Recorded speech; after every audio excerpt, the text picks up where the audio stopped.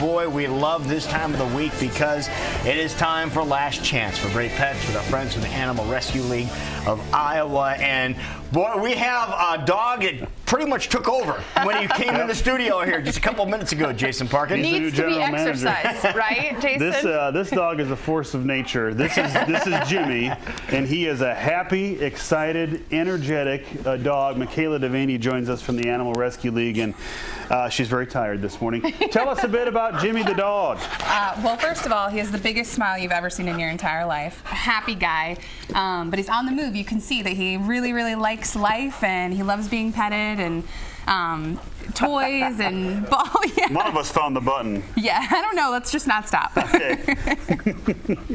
a very energetic dog. All right, Yeah. let's let's cut to the chase here. If you bring a dog like this home.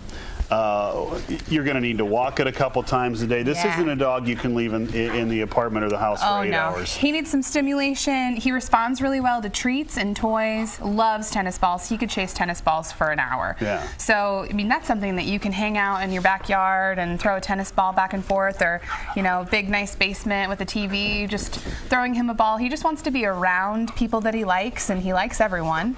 Um, It seems so. yeah, he's really curious. You can see he's kind of an explorer. He wants to check out the world, and that's nice because it makes him a little bit independent. Right. He doesn't always want to be next to you. Right. Come on, Uh, and uh, so uh, kids, maybe not. If they're little kids, I Yeah. mean, he's gonna like them. Yeah, but you know, it, there's we don't have any restrictions on it. Families kind of know their kids and know their families pretty well. Um, but you know, he does, definitely has the capability of knocking them over if they're smaller I smaller almost kids. wonder if he has a little boxer in him because he boxes like a boxer when Oh, you play yeah. with him.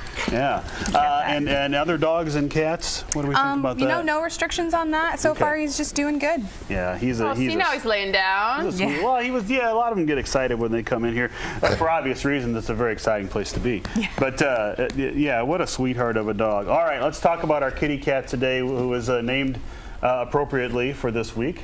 Yeah, 12 years old. Um, Molly's favorite thing is ear scratches and being on your lap.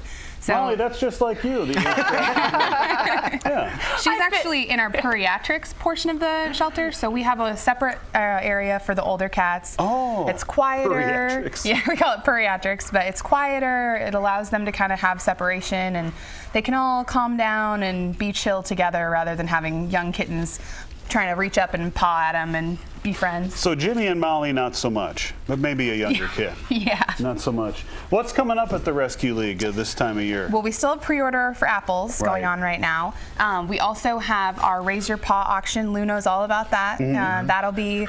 Uh, those tickets are available online now. We sold out last year, so if you want to be able to go, you should definitely go ahead and get your tickets now. Yeah, it's the Um, 16th of April, so circle that on your calendar. Yep. And then we also have on our website, you can go to arl-iowa.org and find all of our winter weather tips. So make sure that with these below freezing temperatures, you're doing things that will keep pets safe. Whoop. Craig, get the ball, will you? Jimmy wants the ball. All right. Uh, one more time for this super fun dog. Uh, Jimmy the dog. Uh, tell us a bit about him that uh, maybe people for some reason may not already know. Hey, Yeah. Tom's getting it. There you go, Tom. There we go. So two years old, you can tell he loves tennis balls, loves people. If you want a dog that gives you a reason to smile all day long, this is definitely your guy.